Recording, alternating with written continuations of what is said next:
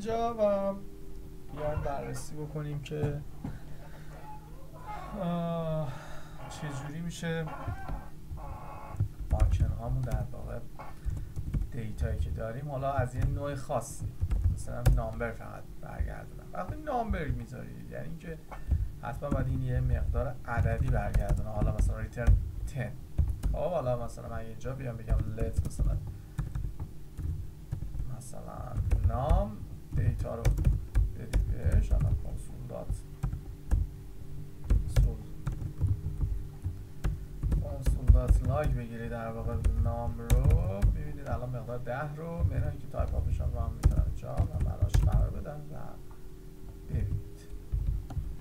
یه فنج می‌ذارم که به این شکل در واقع ببینید خب اگر در واقع تایپی رو برای توابع مشخص بکنید که حتما از نوع number باشه یعنی باید حتما عددی برگرده. حواستون باشه. یعنی مثلا اینجا شما می‌تونید مثلا 10 ممیز 55 همینجوری هم هیچ مشکلی نداره. حالا هر عددی می‌ذاری ولی نمی‌تونید ببینید مثلا string برگرد. بیا اینجا نگهداری برمیگردیم میگه که در واقع تایپش چی هستش؟ نمی‌تونی از نوع text در واقع برگردونیشون number ه.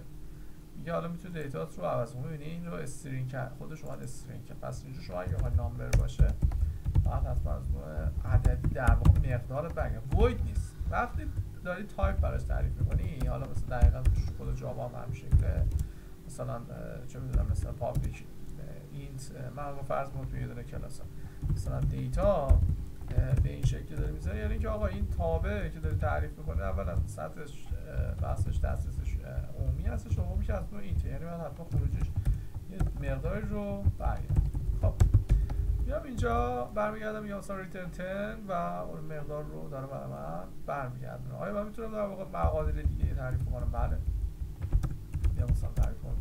public مثلا data بذار از نوع string حتما باید string برگرده می‌تونه پارامترهای ورودی هم داشته باشه. حالا مثلا first name از نوع string و مثلا last name از نوع مثلا string و ایج از نوع هیچ مشکلی نداره. ولی خب در واقع خروجیش من اینجا باید بیام بگم مثلا return توی به این شکل قرارش بده. مثلا مثلا my name is این خب از باید string دیگه داره برمیگرده. مثلا first name بهش میدم هم مثلا my last name is مثلا من میگم last name and مثلا age is مثلا age.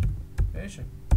در واقع میاد data رو برمیگردم و data رو هم اینجا می‌تونم در واقع توی console.log بذارم. برگردم میگم data data رو وقتی دارید فراخونی می‌کنید خروجی از نوع چیه؟ string برمیگردم میگم مثلا جورج آرمین و حالا مثلا این حتما حتما عددی 33 و semicolon هم رو می‌ذارن و می‌زنید ببینید که به این شکل داره مقدار رو برمیگرده. پس تایپ ها می‌تونه مقادیرهای مختلف باشه. دوست مثال دیگه حل بکنیم.